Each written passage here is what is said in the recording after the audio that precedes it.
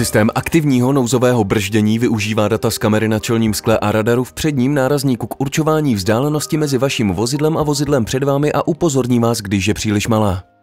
V závislosti na konkrétním modelu také systém aktivního nouzového brždění před vámi detekuje cyklisty a chodce.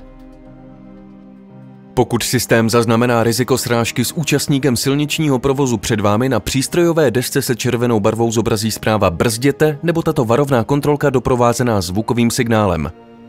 Pokud systém zaznamená riziko srážky s účastníkem silničního provozu před vámi, uživateli silnice se musí vyhnout nebo šlápnout na brzdy.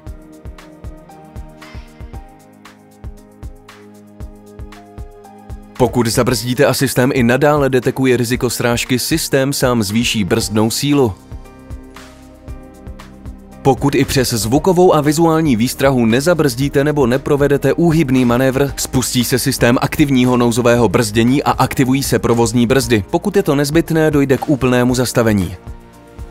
Pokud je nebezpečí bezprostřední, mohou se zvuková výstraha i nouzové brzdění spustit zároveň případě úplného zastavení systém uvolní brzdy. V případě potřeby tedy musíte sešlápnout brzdový pedál, aby vozidlo zůstalo stát.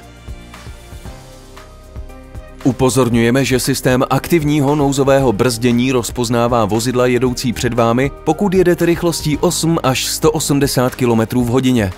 Oproti tomu jsou stojící vozidla, chodci a cyklisté detekováni, pokud jedete rychlostí 8 až 86 km v hodině. A pokud se nacházíte na křižovatce, vozidla jedoucí v protisměru rychlostí 30 až 55 km v hodině jsou rozpoznána za předpokladu, že jedete rychlostí 8 až 25 km v hodině a máte zapnutá směrová světla.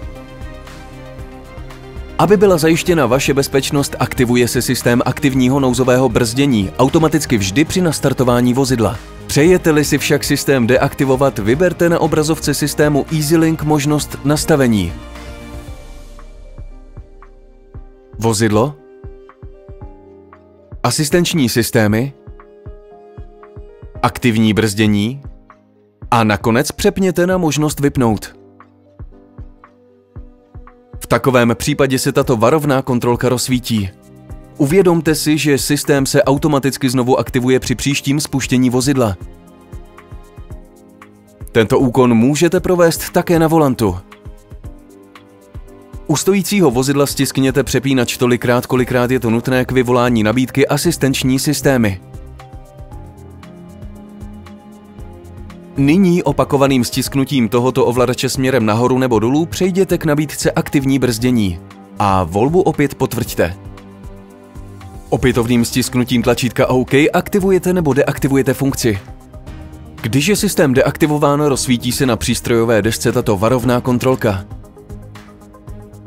Správné fungování systému aktivního nouzového brzdění zajistíte udržováním radaru a kamery v čistotě.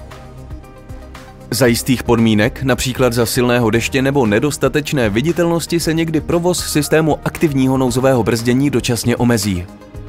V tom případě se na přístrojové desce objeví tato ikonka. Pokud je doplněna o tuto varovnou kontrolku, zjistil systém aktivního nouzového brzdění poruchu. Kvůli vyřešení tohoto problému se obraťte na zástupce společnosti Renault. Upozorňujeme, že systém aktivního nouzového brzdění nenahrazuje trvalou pozornost řidiče. Musíte neustále sledovat situaci v provozu kolem.